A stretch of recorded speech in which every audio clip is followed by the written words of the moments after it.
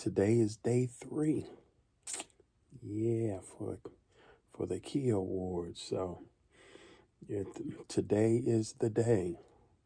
This is the day. this is the day that the Lord has made. And we'll find out what's going on. All right, y'all. Well, it's about time to uh, make that transition on to uh, the KIA Awards attire. You see, see what I got on. Uh, yeah, I'm, yeah, I'm comfortable, but hey, you know, you know, we gotta do what we do for the KIA Awards. So, uh, big, huge shout out to my boy Corey Wimborne. Yes, he got me together. So, uh, yeah, yeah. So I took a shower today. So, yeah, I'm gonna be good, clean, and clean. Ha! Glory. All right. See y'all later. Well, y'all, we are on our way. We are picked up.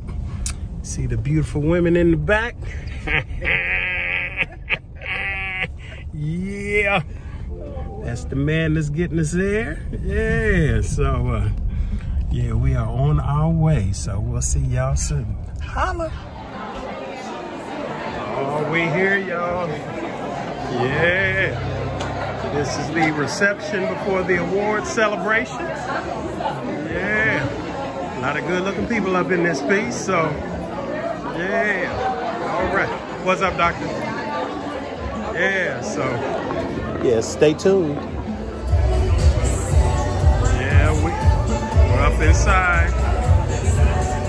Getting ready to start everything. People are getting seated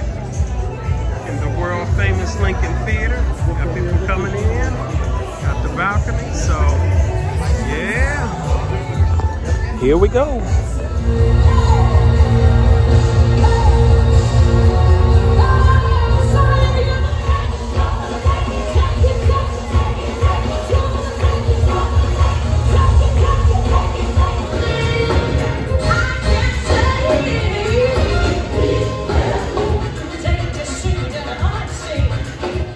The nominees for Instrumentalist of the Year are Chemistry Maestro,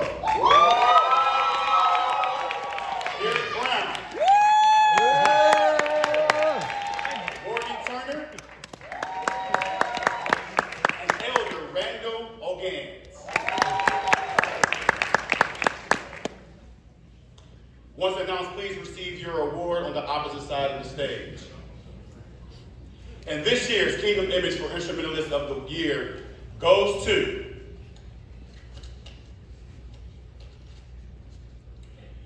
Derek Brown. In